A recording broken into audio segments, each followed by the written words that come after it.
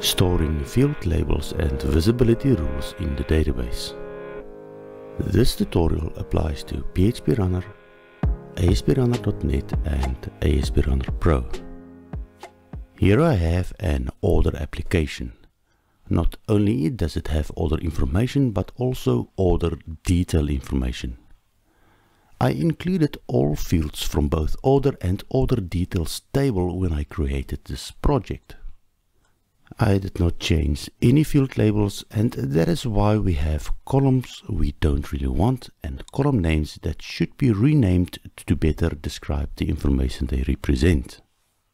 Obviously I can go back to the project and remove unwanted columns and rename field labels, but in this tutorial I'm going to demonstrate how to store field labels and their visibility rules in a database table which in turn will allow you to change the rules for any column without changing it in the project. I left a link in the description to a post where you can copy all code used in this tutorial.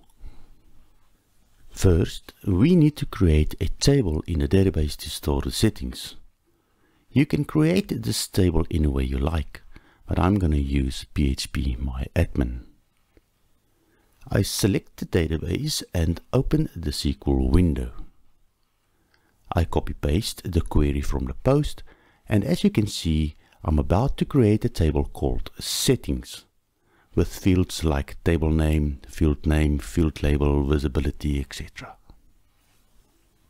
I now click on go and the table is now created. And now I have a new table called settings which is currently empty.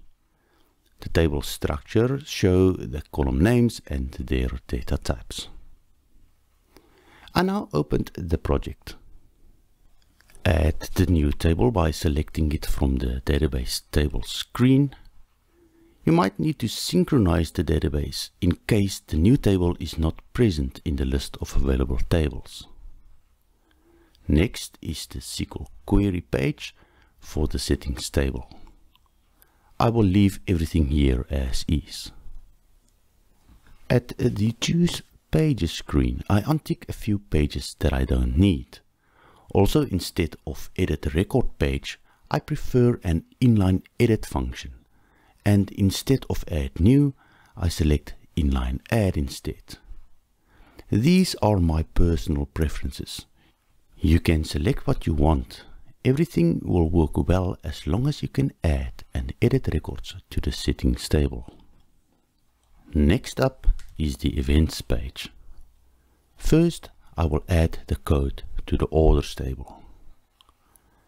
At the after table initialized event of the orders table, paste the following code.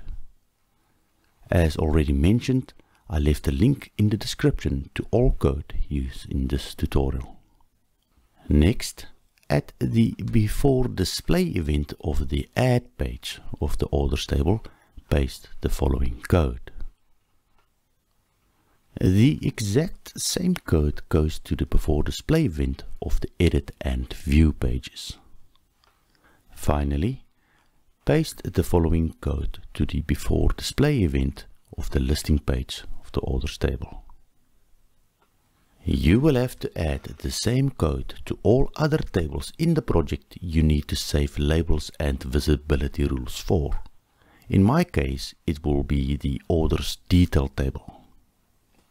I now add the exact same code to the after table initialize event, the before display event of the add, edit, view and list pages of the orders detail table. Remember, you don't need to change any code unless you called your settings table something else, of course. Simply copy paste the code.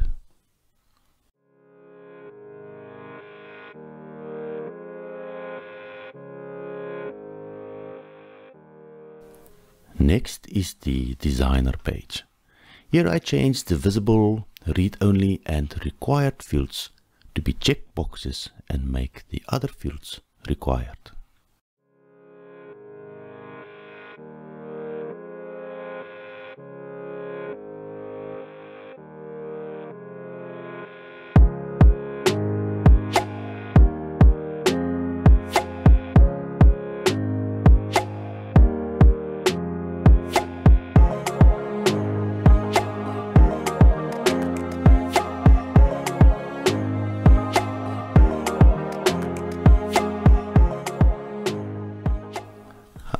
Clean up the menu under the common pages.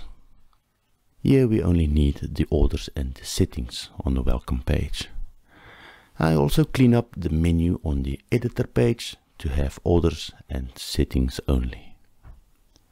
Okay, that is it. Let's see how it works. Back at the application, I refresh the page and we now have a settings menu item. Let's add the first record. The database table is orders, as that is the table in my project. The field is going to be customer ID, and I want the label for this field to be customer. I need the field to be visible and is also a required field.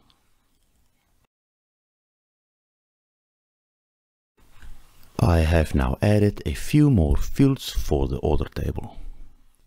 Note that visible is not selected for fields like ship, zip, postal code, taxes and a few more, so those fields will now disappear. Let's have a look. Okay, field labels looks good and unwanted columns are now removed. I also added the same event code to the details table, so let's make some changes.